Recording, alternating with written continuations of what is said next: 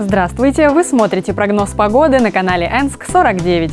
Ультраполярная волна холода с северо-востока растекается по центральным районам Сибири, а на юге местами остаются теплые грозы вдоль широтной фронтальной системы. А теперь о погоде более подробно. В субботу 5 августа в Новосибирске кратковременные дожди с грозами. Ветер северо-восточный 2,7, порывы до 12 метров в секунду. В ночные часы 18-20 тепла, а дневная температура составит около плюс 30. В последующие двое суток погода без осадков. 6 августа ночью плюс 14-16, днем около плюс 25 градусов. 7 в темное время суток столбик термометра покажет 12-14 градусов выше нулевой отметки, а в дневные часы ожидается около плюс 25. Вы смотрели прогноз погоды Западносибирского метеоагентства. На этом у меня все. Желаю отличного настроения.